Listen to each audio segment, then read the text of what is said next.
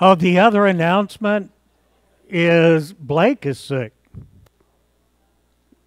Is your dad sick or just taking off? No, he's like food poisoning sick. Oh, oh, get back!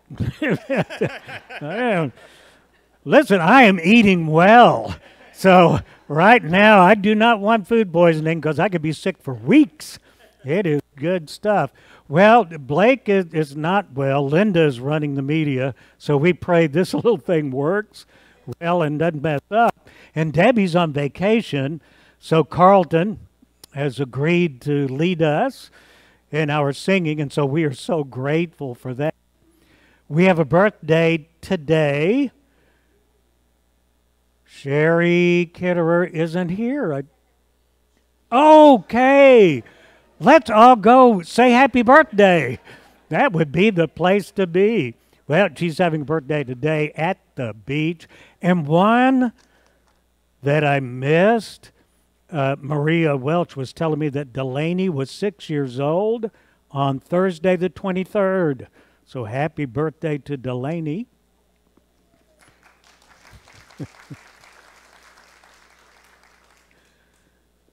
And I was saying my granddaughter's going to be six next month. So, hey, that's my youngest.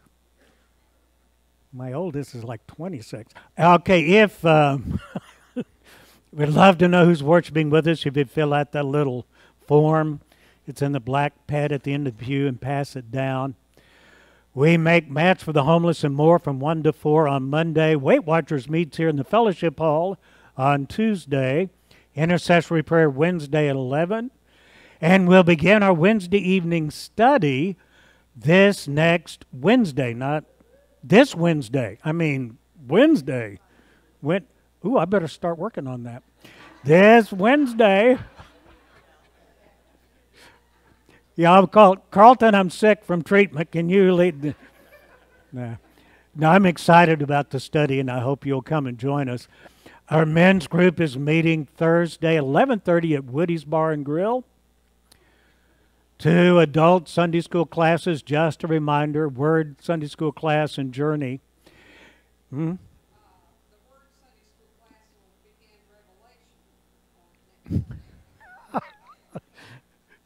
God bless you. uh, I'm not going to be here. they're going to start coming in asking me questions all over the place. Okay, I'm going to have to do two studies, one on Revelation and one on Max Lucado's book. We have Sunday Fun Day from kids 4 to 11 years of age. Next Sunday from 1 to 3:30. You do if you are a child, you do not want to miss this. This is loads of fun. What did I say? What did I say? Okay, show up at 1:30 or 1 or whenever you want to. Yeah, just be here. Uh, anything special they need to know, Linda? Yeah, and really, it is. It's fantastic. It's fun. Are there any other announcements that need to be made? If not, then let us worship God.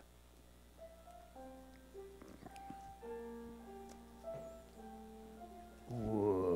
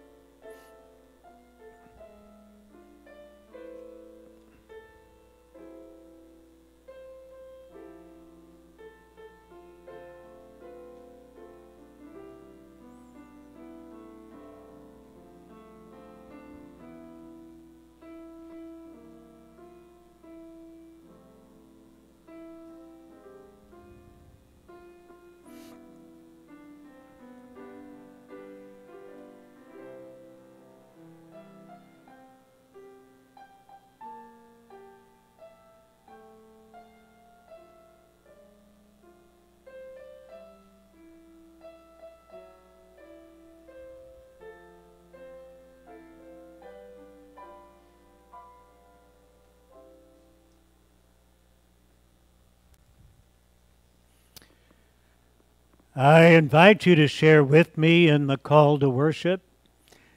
We have entered into the season of Lent. Today we remember the temptations Jesus faced.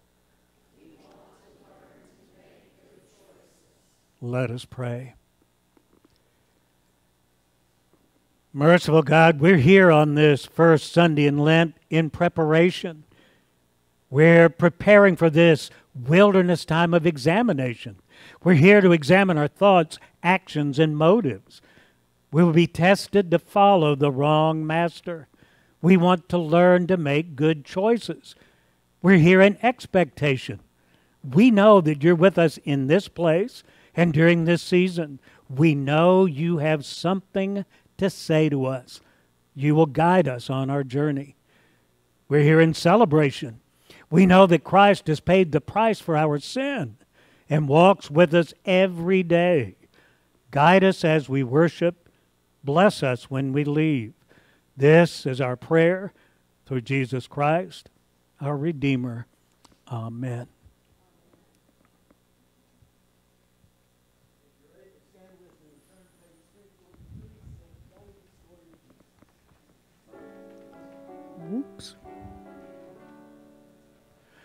Tell me the story of Jesus.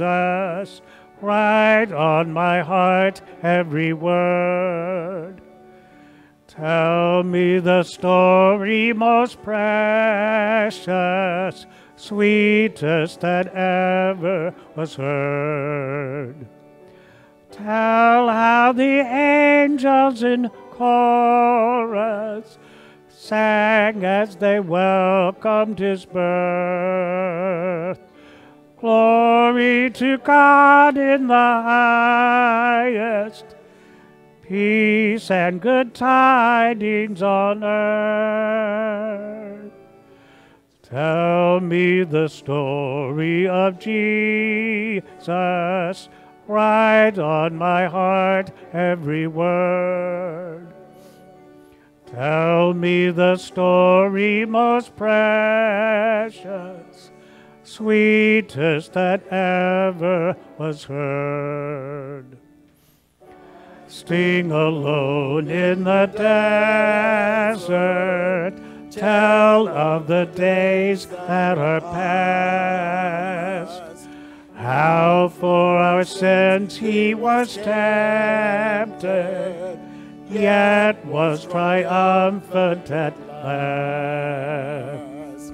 Tell of the Years of his labor, tell of the sorrow he bore. He was despised and afflicted, homeless, rejected, and poor. Tell me the story of Jesus. Write on my heart every word. Tell me the story most precious, sweetest that ever was heard. Tell of the cross where they nailed writhing in anguish and pain.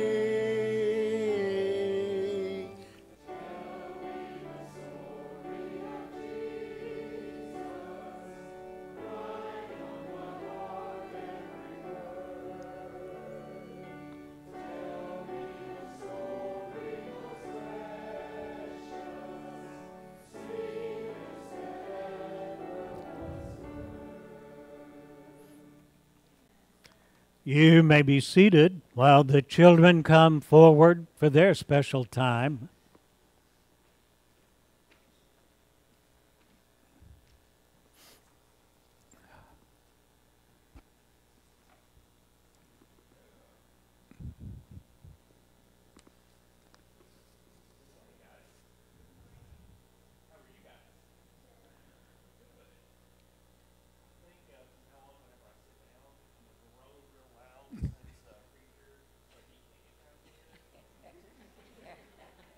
Amen. Oh, I can get down there.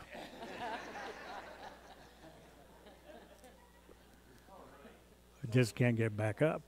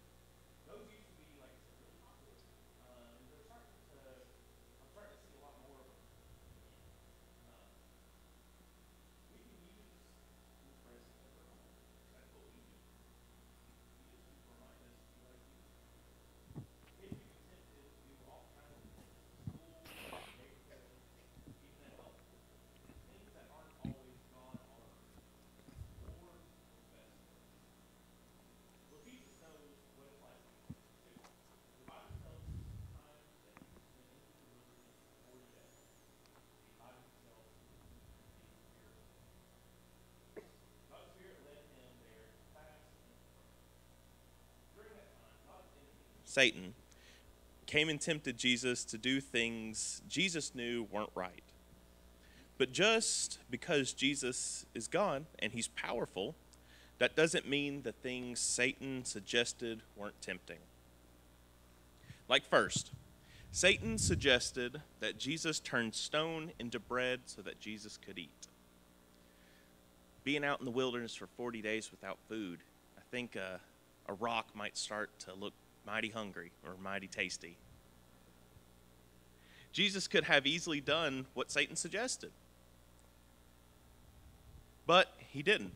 Instead, he answered, It is written, man does not live on bread alone.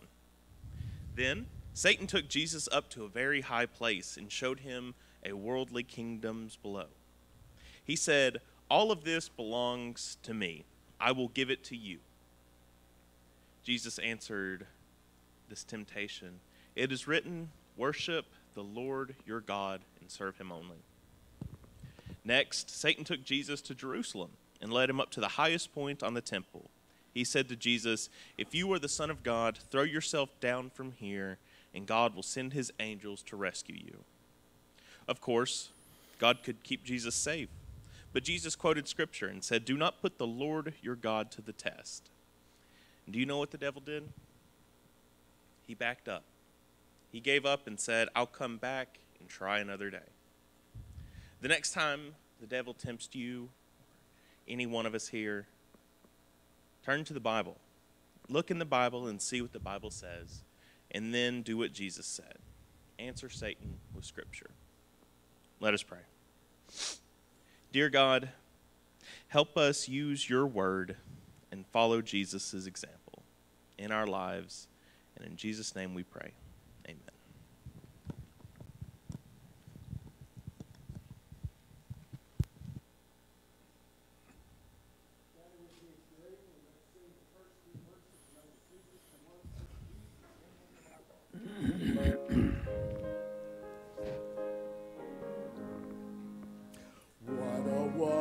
Wonderful change and my life has been wrought since Jesus came into my heart. I have light in my soul for which long I have sought since Jesus came into my heart.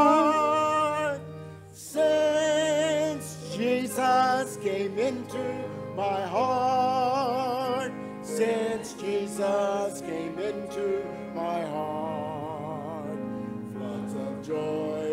my soul, like the sea billows roll. Since Jesus came into my heart, I have ceased from my wandering and going astray.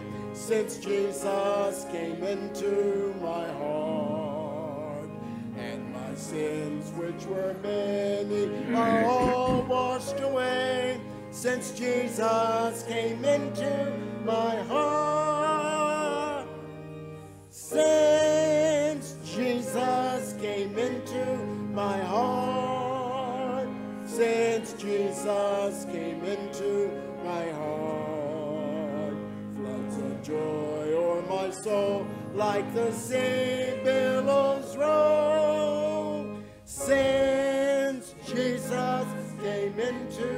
my heart, there's a light in the valley of death now for me, since Jesus came into my heart.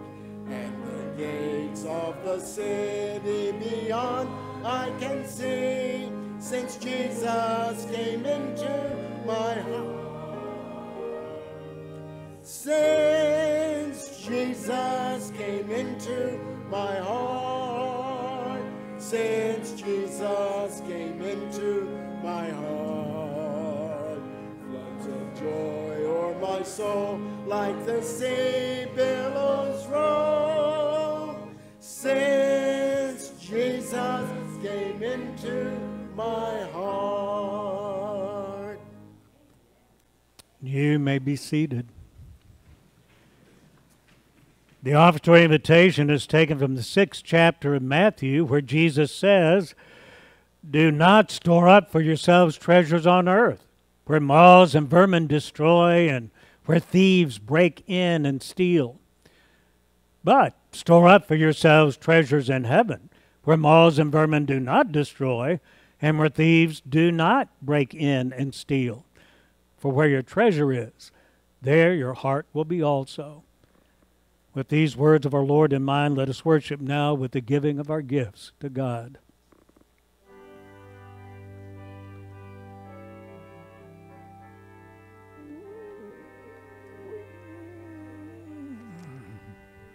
Mm.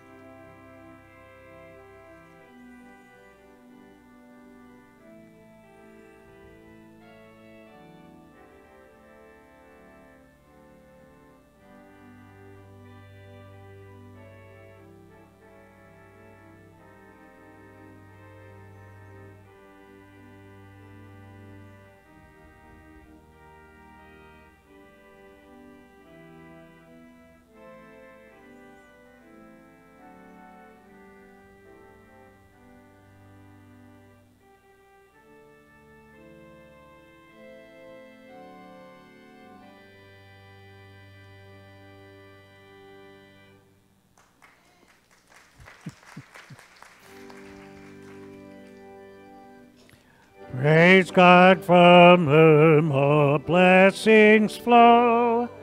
Praise Him, all creatures here below. Praise Him above, ye heavenly host. Praise Father, Son, and Holy Ghost.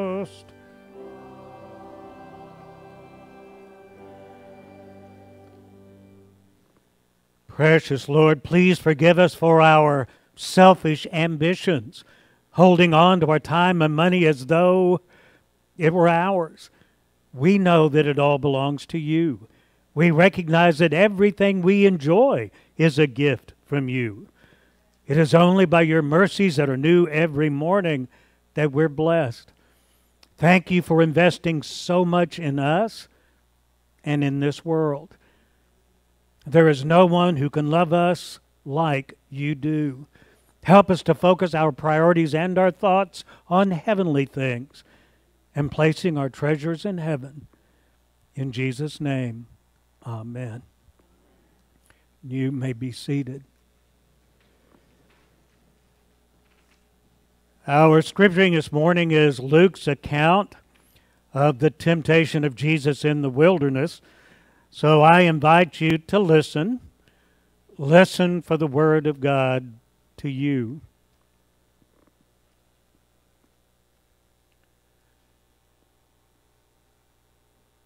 Jesus, full of the Holy Spirit, left the Jordan and was led by the Spirit into the wilderness, where for 40 days he was tempted by the devil.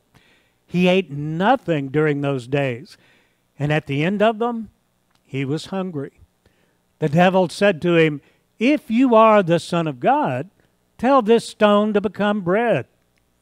Jesus answered, It is written, Man shall not live on bread alone. The devil led him up to a high place and showed him in an instant all the kingdoms of the world. And he said to him, I will give you all their territory and splendor. It has been given to me, and I can give it to anyone I want to. If you worship me, it will all be yours. Jesus answered, It is written, Worship the Lord your God and serve him only. The devil led him to Jerusalem and had him stand on the highest point of the temple. If you are the Son of God, he said, throw yourself down from here. For it is written, He will command His angels concerning you to guard you carefully. They will lift you up in their hands so that you will not strike your foot against a stone. And Jesus answered, It is said, Do not put the Lord your God to the test. When the devil had finished all this tempting, he left him until an opportune time. Friends, this is the Word of God for the people of God. Thanks be to God. And let us once again go to God in prayer. And as we do, I'll remind you of the prayer concerns printed on the back of the bulletin. Uh, Mike Bradshaw is going to have cataract surgery on the 28th. Uh, Lewis DeMaster, John Shipley, Atticus Williams are all all have health concerns. Atticus is doing okay, but we ask that you lift them all up in your prayers. And I think I mentioned Ed Norman to you last week, but in case I didn't, uh, brother-in-law of Judy Norman uh, had a heart cath on the 16th. That he is dealing with other health issues, and she has asked that we pray for him. If you have anyone you would like to let us know about, uh, you're invited to say their name out loud as we first go to God silently in prayer and I will lead in the pastoral prayer. Let us go to God.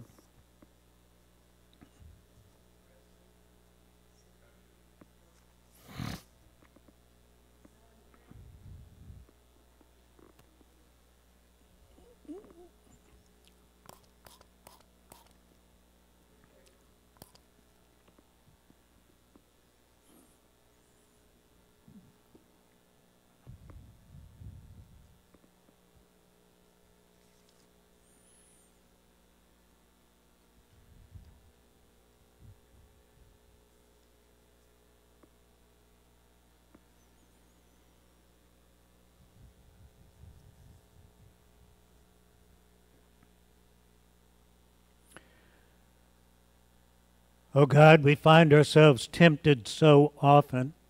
How lonely that experience is. Suddenly, we have to decide whether to say yes or no. And nobody is in worship then, and we're not singing hymns then. And the right decision isn't easy. It's ours to make, and all our best instincts are tested. Has the seed of decency been planted deeply enough inside us? Then it can hold out. In these solitary moments of testing, be with us. We can't know where a careless step thoughtlessly taken might lead us. Paths that look so good sometimes lead to so much misery. So make us stop and think. And Father, if our mistakes do lead us to the far country, help us to come to ourselves just long enough to head back home, knowing that you will stand ready at the door, ready to welcome us back. Be with those whose hardest testing comes this week.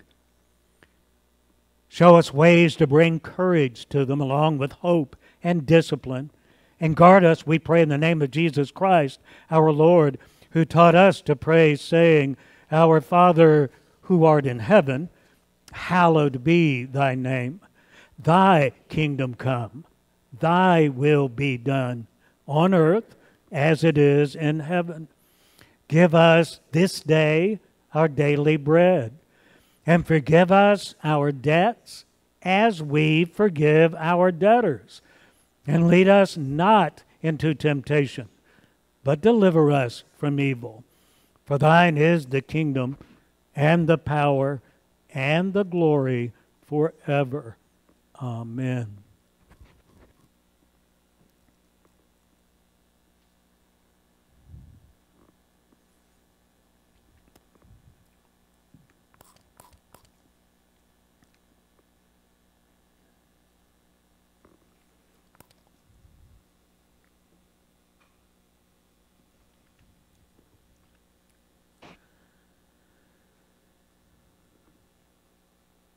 It was a life changing, ministry altering moment.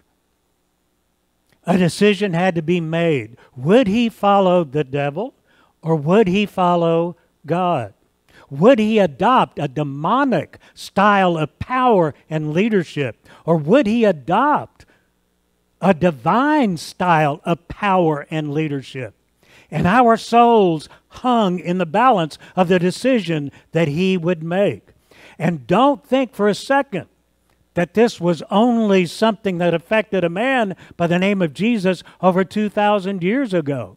It is just as relevant today as it was back then because those same choices are placed before us just about every day of our lives. Who are we going to follow? Are we going to adopt a demonic style of power and leadership, or are we going to adopt a divine style of power and leadership? Okay, what's the difference between the two? Well, there are a lot. But let me give you a really oversimplification.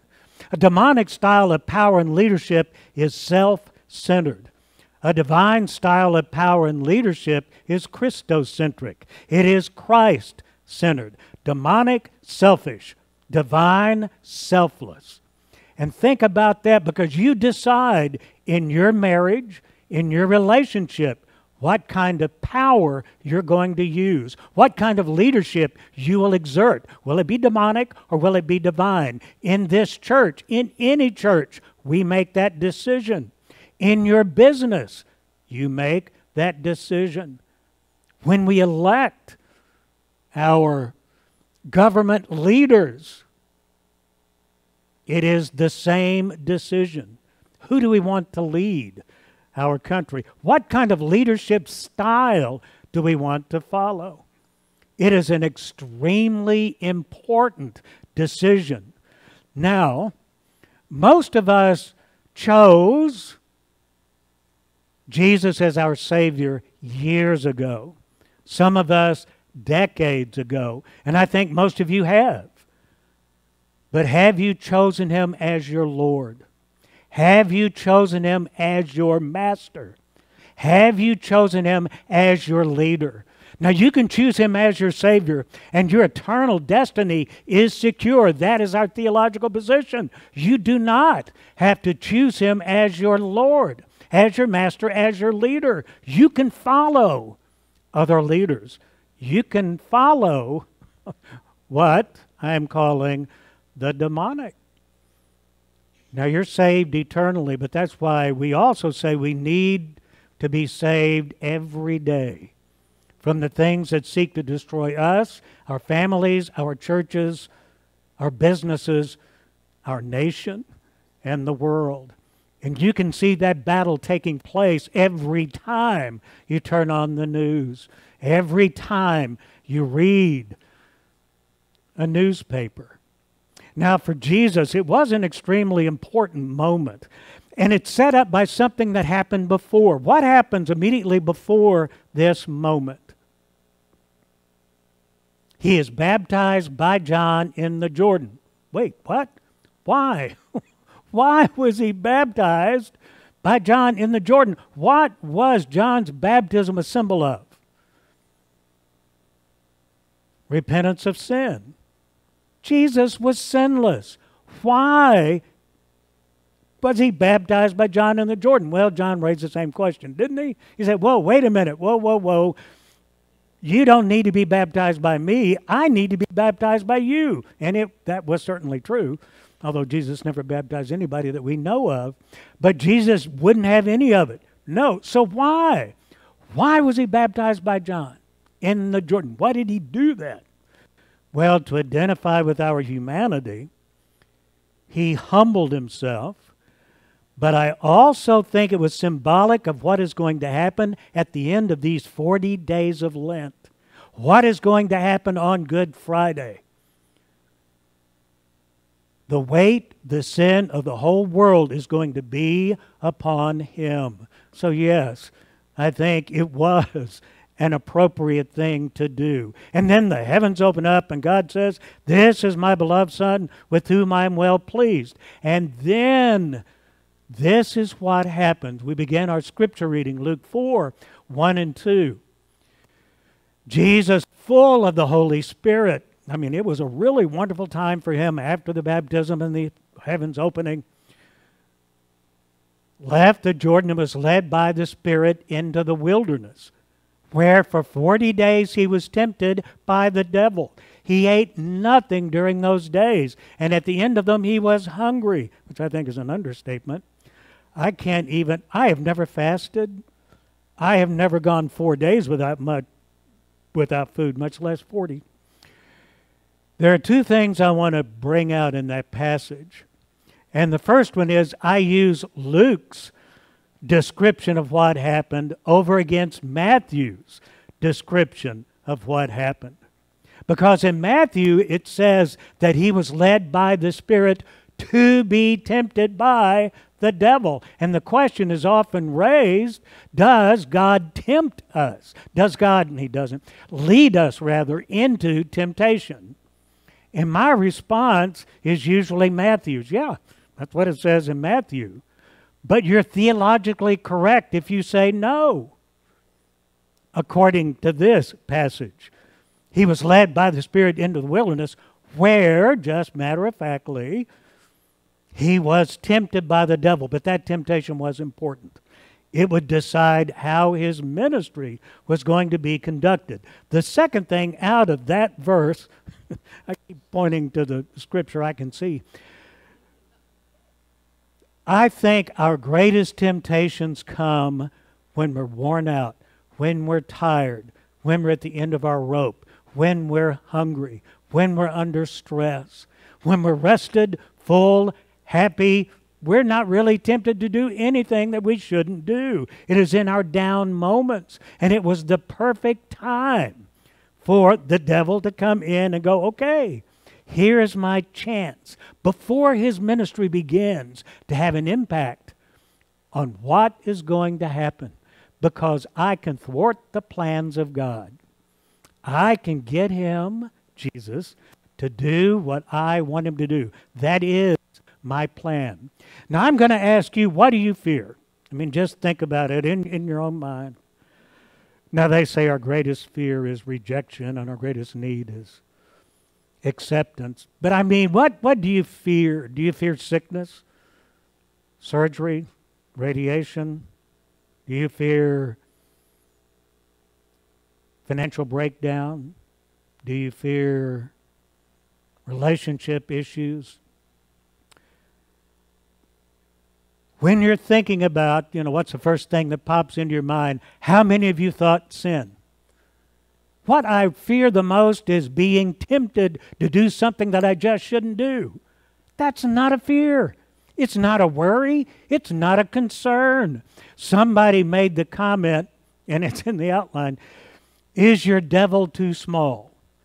And by that, this minister meant do you underestimate the power of temptation?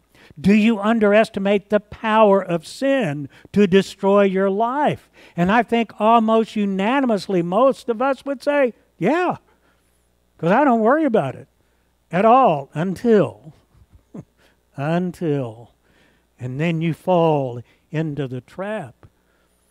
So, is your devil too small? Do you really worry about it? And if you don't, why not? And perhaps you should begin to kind of think about it. Now, sometimes I think we can make our devil too big and worry about it too much. You can go the other extreme where if anything bad happens, the devil did it. Well, I don't believe that. I think most of the things we do ourselves, and we are very capable. And somebody said there's a difference between temptation and testing, and I'm not sure I really buy into that, but he said temptation is something you will like. It tempts you to do something you will enjoy. A test is something you will not like. And that I do agree with. Okay, let's think about the temptations. We're going to walk through them. Stones into bread. And I'm going to get you to read the part of Jesus, and I'll read the part of the devil. It's typecasting. So, Luke 4 3 through 4. The devil said to him, If you are the Son of God, tell this stone to become bread. And Jesus answered, It is written, Man shall not live by bread alone. Now, the interesting thing is there is nothing wrong with what the devil is tempting Jesus to do in all three temptations. There is nothing wrong with any of them in and of themselves because Jesus ends up doing all three of those things, only better, only on steroids. And I hopefully I'll remember to give you an example each time of how he does that. But it's not what he is suggesting, but why. What is the philosophy behind it? And you want to believe what is the theology behind it? Who are you going to follow? Who is going to be your leader? Who is going to be your master? Because doesn't he go, doesn't he do this on steroids with the feeding of the 5,000? I mean, he doesn't turn one little stone into bread. He feeds 5,000 families with five loaves and two fish. Now, the other interesting thing as he decides how his ministry is going to be conducted of all the miracles Jesus performed, and he performed a lot of miracles, he never performed a miracle for himself. Divine style of power and leadership, selfless. This, feed yourself. You're hungry. Feeding of 5,000, did he feed them because he was hungry? I'm sure he was. No. He could have waited till the left and fed himself. He did it because they were hungry. I mean, that was the point. It is selfless use of power and a selfless style of leadership that he had. And the physical temptation, in its and really Jesus focused on the spiritual, and we'll get to that a little bit later, but it was the physical temptation. On temptation, I'm going to share something with you that I've shared with you before, when I've talked about temptation is quoting Charles Allen on temptation. And I think if you weren't here, I think it's something you need to hear. And if you were, it's good to hear again. Because when I read it, I hadn't thought about it in quite this way. When he thinks about temptation as a fork in the road, and you have decisions to make, where one must decide the direction to take, an action to carry out, a character to be.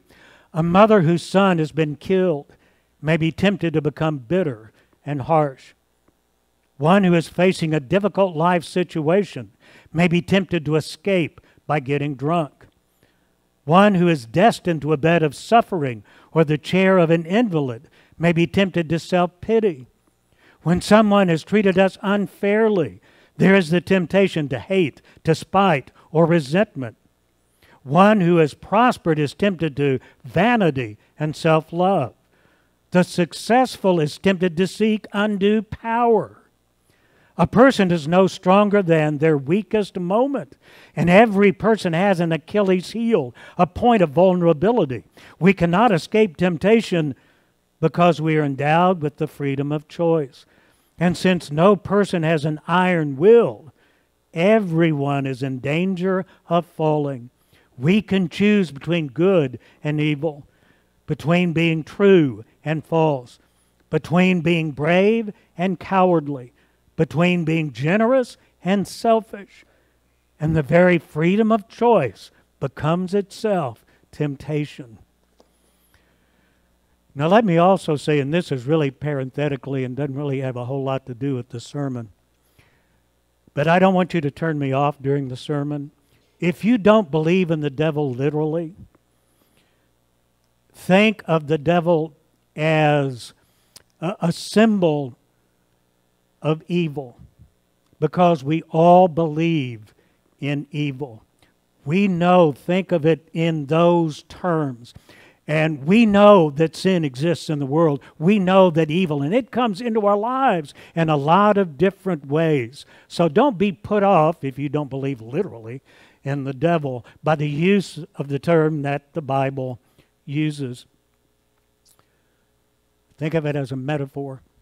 Serving the wrong master. Boy, is this easy to do. Luke 4 5 through 8. The devil led him up to a high place and showed him in an instant all the kingdoms of the world. And he said, I will give you all their authority and splendor. It has been given to me, and I will give it to anyone I want to.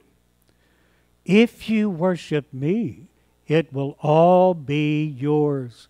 Jesus answered, It is written, Worship the Lord your God and serve him only.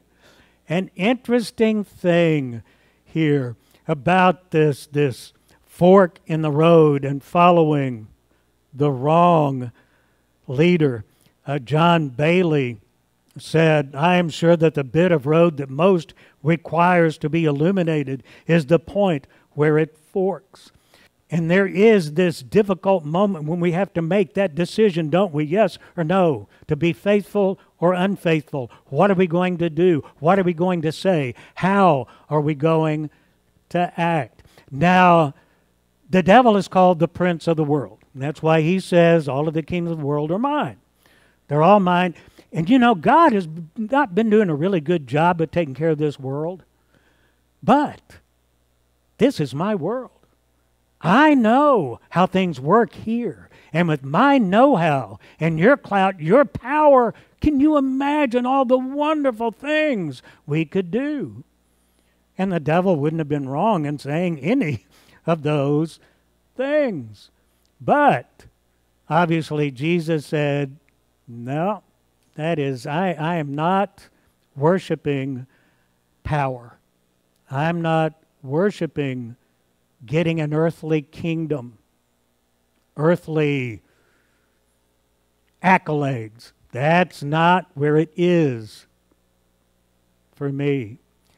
And so, but he does this, doesn't he? At the end of the 40 days of Lent, we go through Holy Week, where we have the crucifixion, the death, burial, resurrection of our Lord. And then we have the ascension where he goes and he sits on the right hand of God the Father Almighty. And then he is what? King of kings and Lord of lords. And all the kingdoms belong to him. Spiritual kingdom.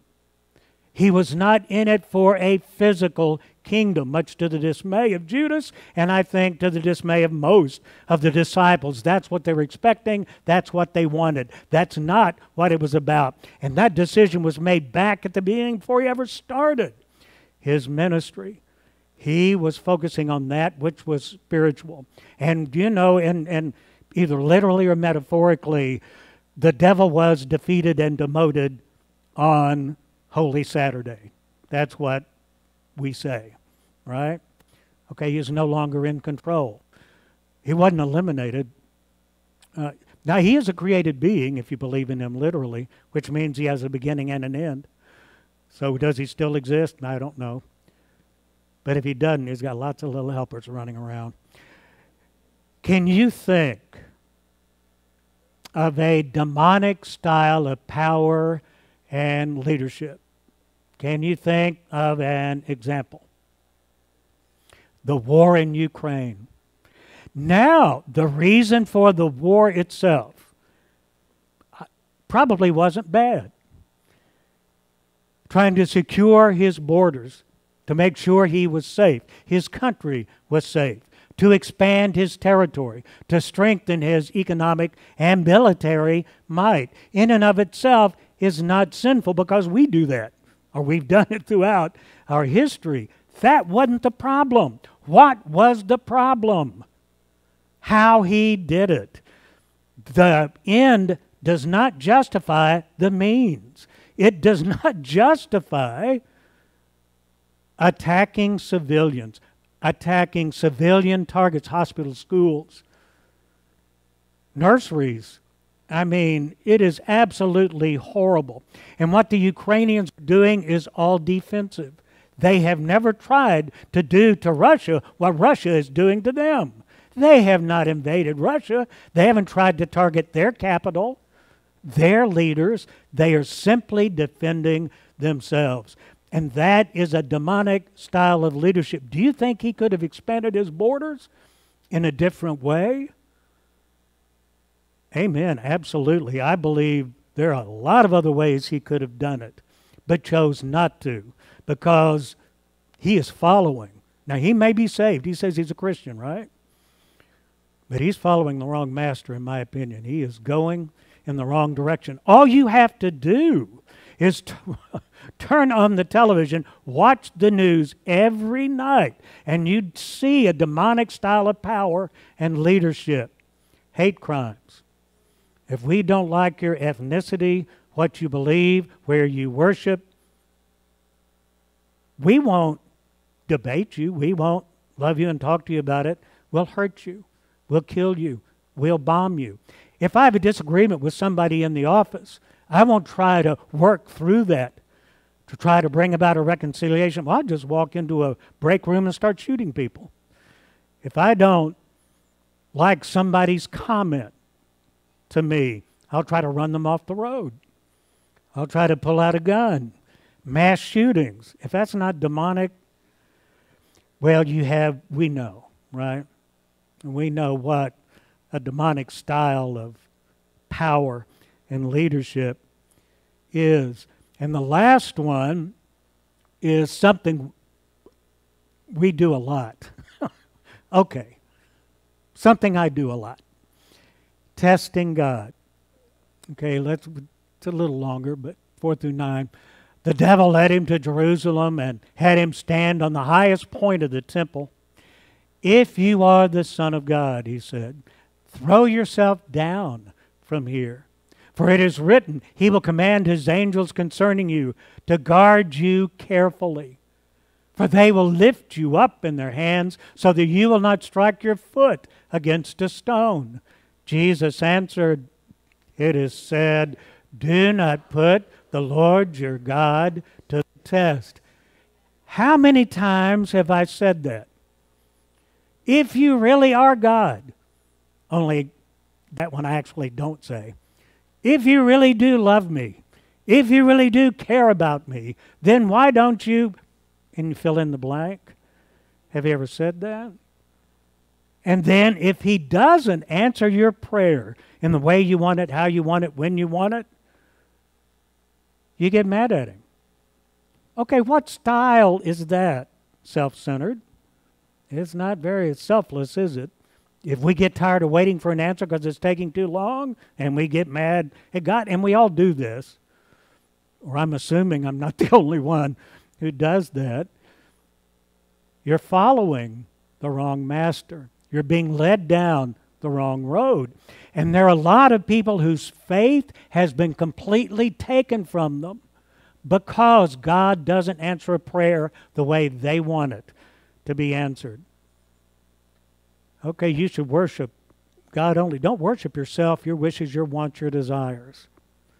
Just because you want it doesn't mean you're going to get it.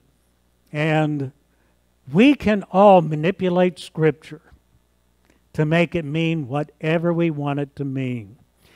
And we're taught not to do that. I'm looking at Carlton and Vernon. We're taught not to do that, but we're also taught we all go to the Bible with a bias. And we're going to find those passages we agree with. And we're going to kind of ignore those passages that we disagree with. And whatever we want to assert as our position, we can find it if we work hard enough. We've done this through, throughout our nation's history. But we've been kind of, since the fall, we have all been lured into following a demonic style of leadership and power.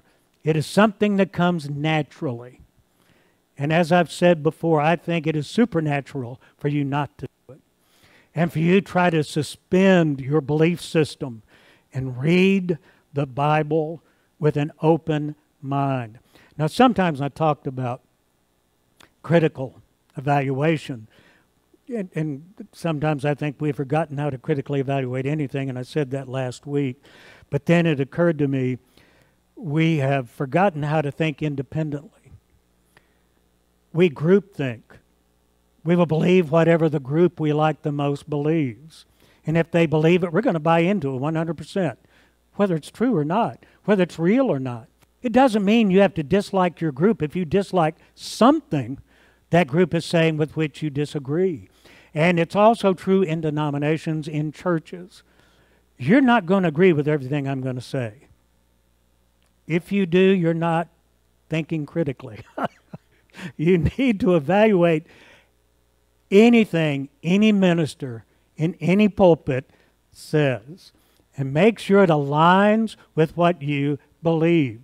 Don't believe it's the Word of God just because a pastor or a Sunday school teacher or somebody you really admire and respect says it. It may be, but it may not be. Because the devil, evil, can manipulate Scripture. Our human desires can manipulate Scripture. Now, how he did this on steroids, this jump from the pinnacle of the temple and you're not going to be hurt if you are the Son of God. What did, what was one of the things that was shouted to Jesus as he hung on the cross? Wasn't it a soldier who shouted, If you are who you say you are, just get yourself down from there. You would have the power. You would have the divine power to get down if you really were the Son of God, which he was. It wasn't that he didn't have the divine power to get down off the cross. What it was, he had the divine power to stay on that cross. Because I guarantee you, any human would have off. If I could have had the power to get myself off that cross, I would have done it. I would have been out of there. He could have stopped that process anytime he wanted to. He didn't have to go through the scourging, he didn't have to go through the crucifixion but the divine power of love kept him on that cross. Why did he do that? For you. He did it for me. Now we we are all on a journey through Lent. We're all on a journey through life. And those same two choices are constantly being placed before us. Who are you going to follow? Are you going to follow the devil? Or are you going evil? Or are you going to follow God? Are you going to follow Jesus? What style of power and leadership are you going to develop in your life? Is it going to be a demonic style or a divine style? Who will you follow? Who will you serve? Let us pray. Mighty God, we bow before you, grateful for your presence in our lives and asking for your strength to help us to always make the right choices. Most of us have surrendered our lives to you as, as our Savior, and we hold on to that dearly. Help us to continue to invite you into our hearts, into our lives, into our actions, into our motives as our Master as our Lord, as the one leading our lives. This is our desire and prayer, left, lifted through Jesus Christ our Lord. Amen. I'm going to invite you to affirm your faith with me uh, by reading in unison the Apostles' Creed. So would you stand as we affirm our faith together? Christian, what do you believe? I believe in God the Father Almighty, maker of heaven and earth, and in Jesus Christ, his only Son, our Lord, who was conceived by the Holy Spirit, born of the Virgin Mary, suffered under Pontius Pilate, was crucified, dead, and buried. He descended into hell. The third day he rose again from the dead. He ascended into heaven and sits on the right hand of God the Father Almighty. From there he shall come to judge the living and the dead. I believe in the Holy Spirit, the holy universal church, the communion of saints, the forgiveness of sins the resurrection of the body, and the life everlasting. Amen. Glory be to the Father, and to the Son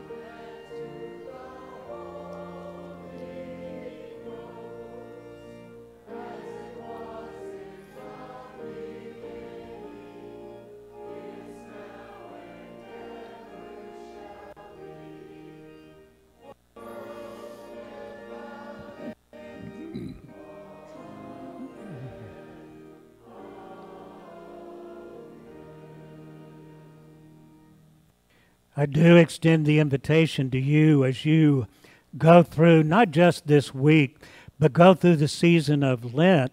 It's a time of self examination.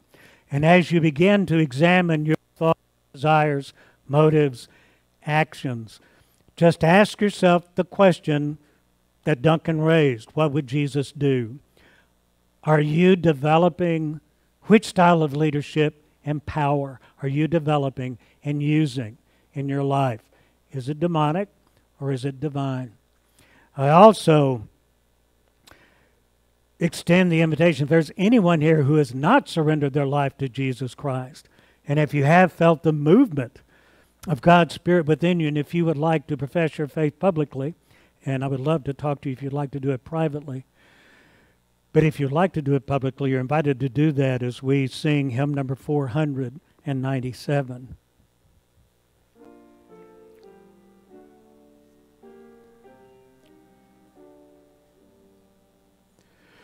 If you will only let God guide you and hope in Him through all your ways, whatever comes, He'll stand beside you to bear you through the evil days, who trust in God's unchanging love, builds on a rock that not be moved.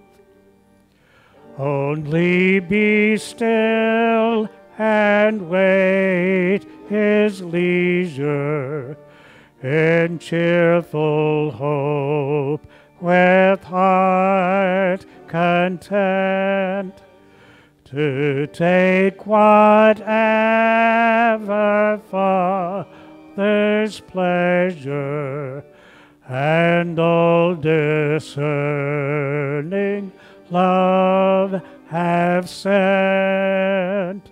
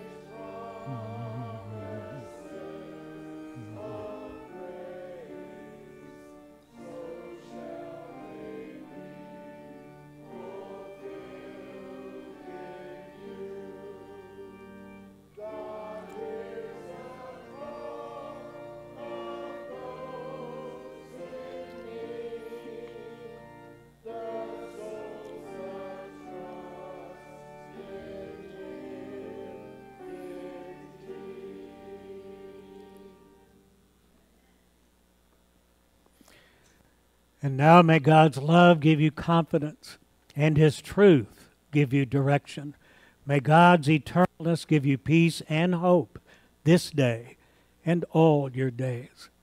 Amen.